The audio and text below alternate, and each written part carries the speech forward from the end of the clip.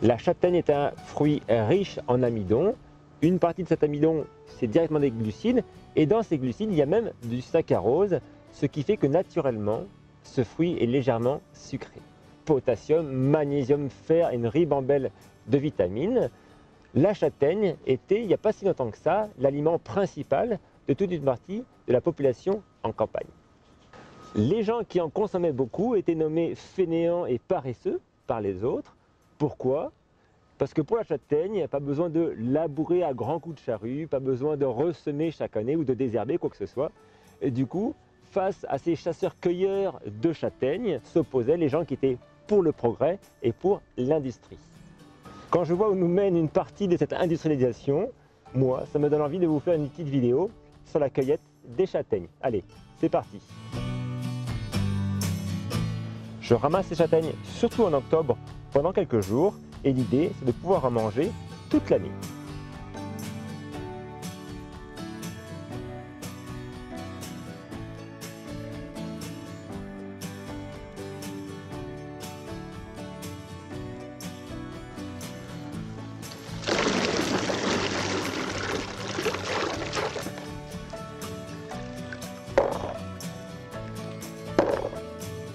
Celles-là, elles sont creuses ou moisies. Ça tout de suite. J'ouvre. Voilà, elle est toute marron.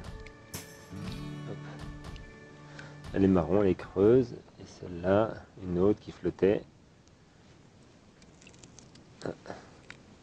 Voilà, elle est bonne, mais elle est véreuse. Alors que si on prend une châtaigne du fond,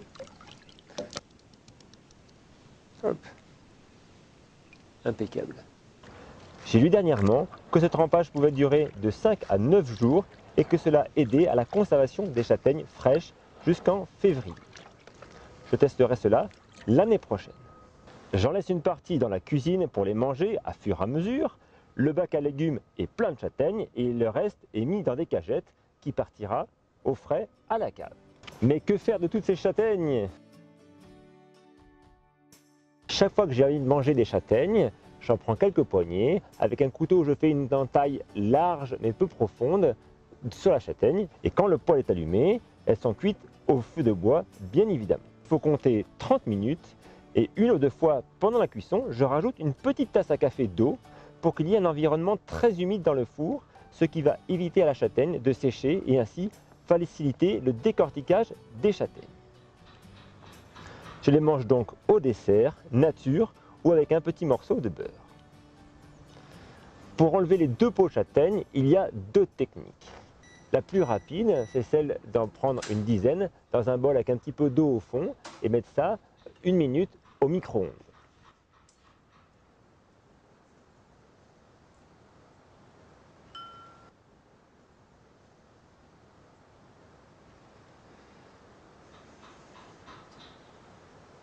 Attention, ne pas oublier bien évidemment d'entailler les châtaignes, sinon ça explose.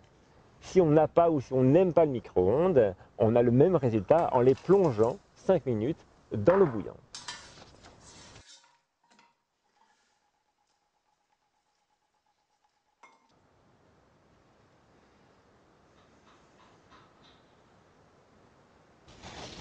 Et pour ne pas trop me brûler les doigts, je les trempe régulièrement dans un bol d'eau froide. Les châtaignes ainsi décortiquées peuvent se glisser dans une soupe ou en accompagnement d'une viande en sauce. Et quand j'ai du temps, j'en décortique plus que je mets dans un grand plat au congélateur. Le lendemain, je les glisse dans un sac toujours au congélateur pour que ce soit plus pratique à stocker et à utiliser. J'ai des châtaignes plein le congélateur et plein le frigo, et celles qui sont à la cave ne se conserveront que quelques mois. Comme j'ai envie de pouvoir manger des châtaignes toute l'année et que je veux aussi avoir de la farine de châtaigne pour en faire des petits biscuits entre autres, ben j'ai décidé de sécher mes châtaignes pour les conserver. Allez, c'est parti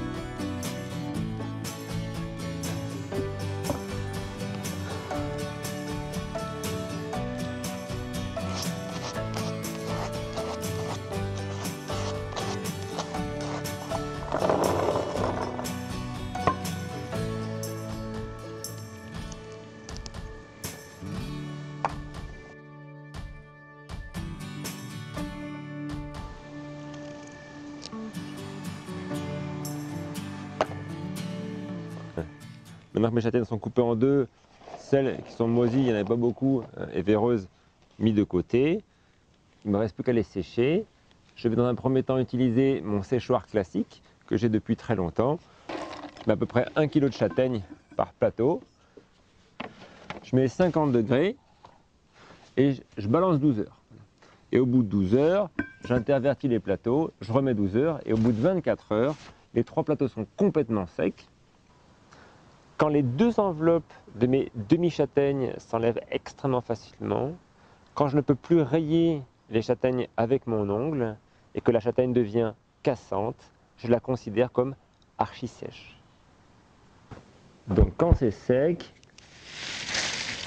je le mets dans un, un grand seau voilà, étanche. Le ventilateur consomme 17 watts et la résistance qui chauffe consomme 600 watts. Et elle consomme en 24 heures, j'ai mesuré qu'un wattmètre, elle, elle, consomme 5 kWh pour sécher 3 kg de châtaignes qui vont au final faire à peu près 1 kg de, de châtaignes sèches. Comme j'ai beaucoup de châtaignes, je me suis dit pour en sécher plus à la fois, j'ai racheté trois plateaux. Euh, sauf que du coup, je peux doubler ma quantité de châtaignes à sécher, mais du coup, je multiplie presque par deux aussi le temps de séchage. Et puis les plateaux du haut, il faut que je les mette dessous, puis je fasse une rotation permanente. C'est pas très pratique. Du coup, je préfère garder ces trois plateaux. Ces plateaux-là, ils serviront peut-être quand je voudrais faire sécher d'autres choses, comme des feuilles ou quoi que ce soit. Mais comme j'ai beaucoup de châtaignes, j'ai décidé quand même de les sécher, euh, mais sans consommer autant d'énergie. Donc j'ai fabriqué un plus gros séchoir.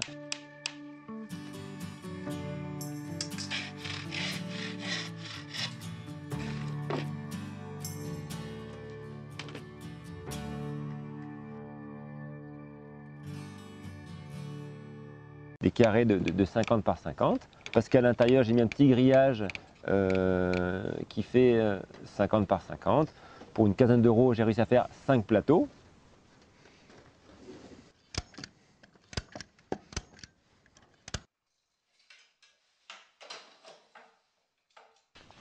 Et avec 4 ventilateurs d'ordinateur en 12 volts,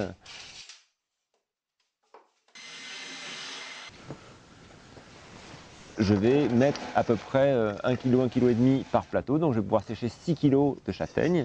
Et a priori, en 3-4 jours, ça sera complètement sec. Voilà.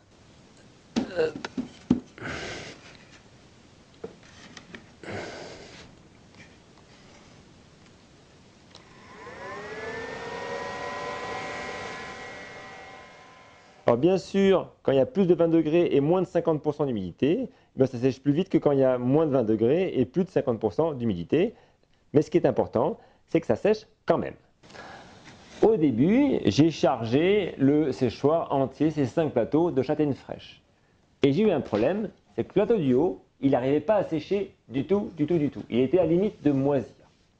J'ai compris pourquoi, c'est que l'humidité de celle du bas, comme les ventilateurs aspirent et extraient l'air par le dessus, l'air rentre par le dessous et l'humidité du plateau du bas remonte, remonte, remonte, enfin les plateaux du bas, et du coup l'air sur le plateau du haut, il est très humide. Du coup, j'ai recommencé le système. Premier jour, je remplis, je remplis avec 2 kg de châtaignes fraîches le plateau du bas, le deuxième jour, le deuxième plateau, ainsi de suite. Et au bout du sixième jour, je vérifie que les châtaignes du bas sont complètement sèches. Si c'est le cas, je les récupère.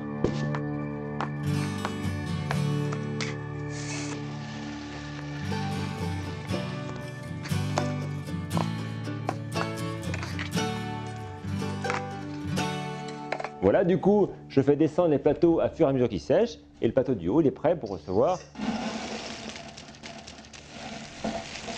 mes 2 kg de châtaignes fraîches. Combien d'énergie consomme ce séchoir? L'ensemble là fait 20 watts, donc x euh, 24, on va dire x 25 heures, ça fait à peu près 500 Wh. Par rapport à l'autre qui faisait 5 kWh par jour, c'est exactement 10 fois moins. Ce séchoir consomme 10 fois moins d'énergie que l'autre pour sécher quasiment autant de châtaignes à la fois. Et encore, à lui tout seul, le transformateur consomme la moitié de l'énergie que consomme l'ensemble. Donc avec un système photovoltaïque et trois batteries, on peut diminuer encore par deux la consommation d'énergie de ce système. Yes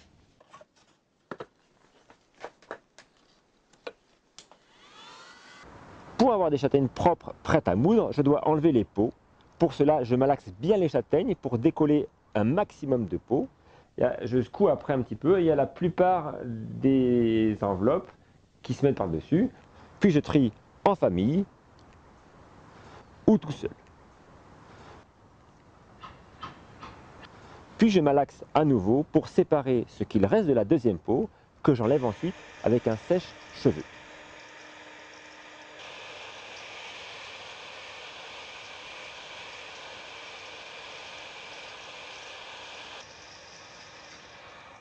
Voilà.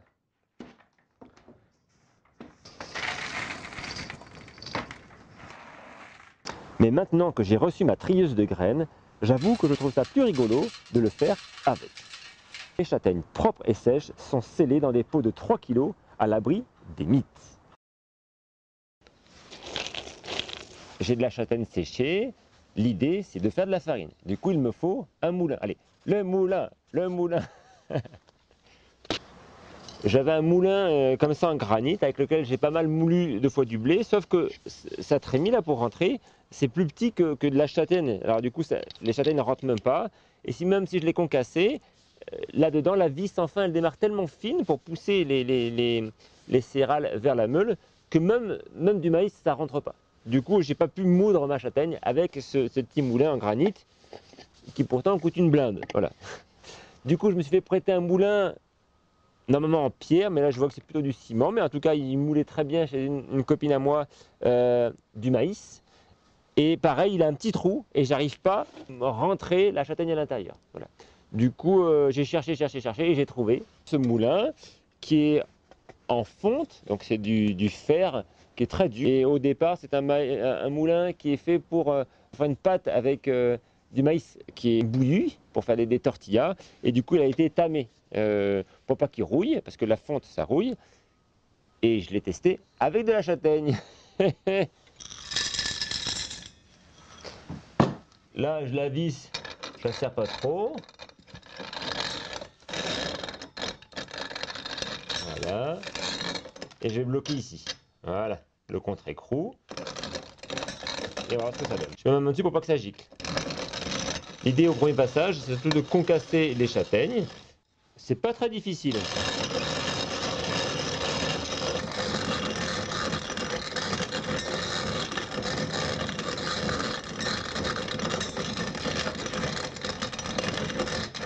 il y a vraiment que des gros morceaux, mais c'est déjà bien avec un concassé. Deuxième passage. On resserre la vis. C'est parti.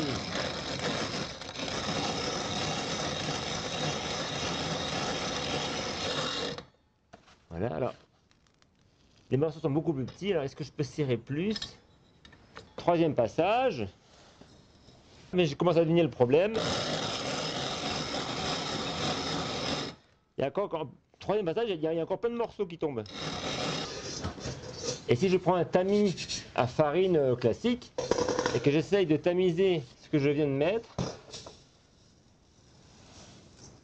et eh ben j'ai beau secouer, on voit qu'il y a de la farine, bien sûr, mais on voit surtout qu'il y a beaucoup, beaucoup une espèce de semoule que j'arrive pas à moudre plus finement. Alors c'est normal qu'il y ait de la grosse mouture parce que si on démonte, c'est bien, il se démonte relativement facilement. voilà. On voit que là il y a des dents, une série de dents. là il y a des grosses dents très creuses et puis à la fin les dents sont plus régulières. il y a quand même beaucoup d'espace entre chaque dent à la fin, ce qui fait que les morceaux de, de châtaigne ils passent au travers sans avoir été absolument écrasés. L'idée, ça va être de poncer ses dents un petit peu pour en réduire la profondeur. Voilà.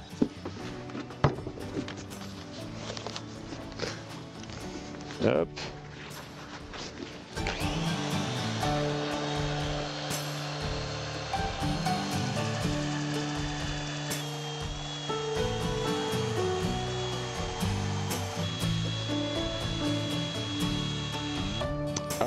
les grosses dents.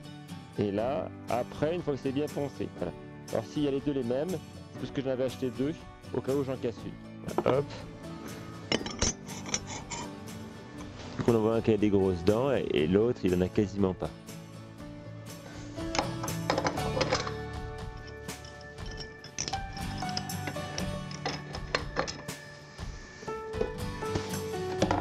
Et c'est parti. Oula, alors c'est beaucoup plus difficile. Ça a l'air de moudre carrément.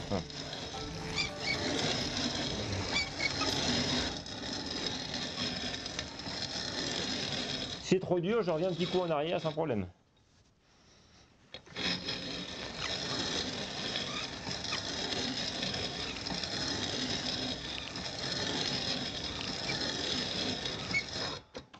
Assez rapide. Alors là, il y a vraiment de la belle farine. Je vais quand même tamiser pour voir.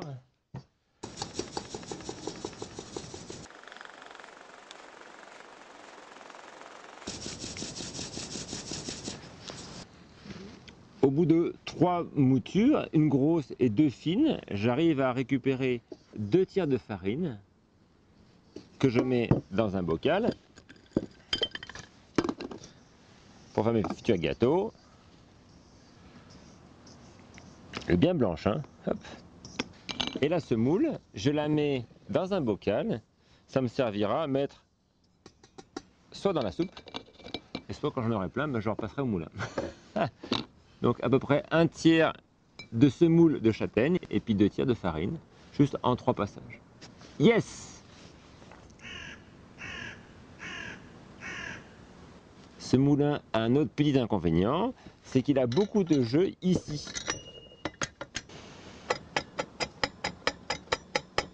Ce qui fait que ça fuit pas mal.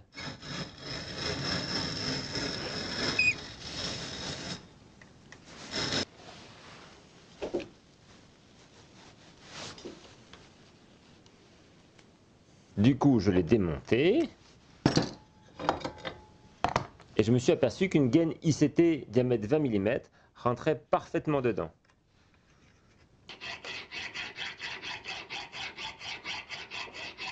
Et j'ai limé l'axe jusqu'à ce qu'il se rentre parfaitement dans la gaine.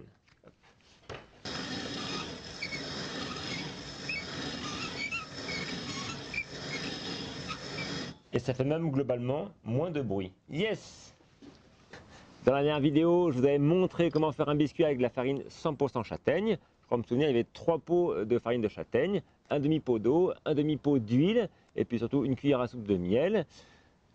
L'huile était bio, extraite à froid, mais provenait d'Espagne. Elle n'était pas ni locale ni résiliente pour moi. Je l'ai remplacé cette huile par deux pommes râpées très très finement.